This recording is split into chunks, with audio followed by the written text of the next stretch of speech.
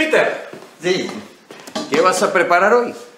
Eh, ñoquis a los cuatro quesos y milanesa a la napolitana. Esa idea la sacaste de este librito. No, me lo recomendó eh, la señorita Alesia. No sabe eh, las habilidades gastronómicas que ha heredado de usted. Mi hija, ella no cocina, ella juega a la comidita. El que ha heredado mis habilidades gastronómicas, el talentoso es Cristóbal, mi hijo. Y si me permite comentarle... Olvídate de los ñoquis.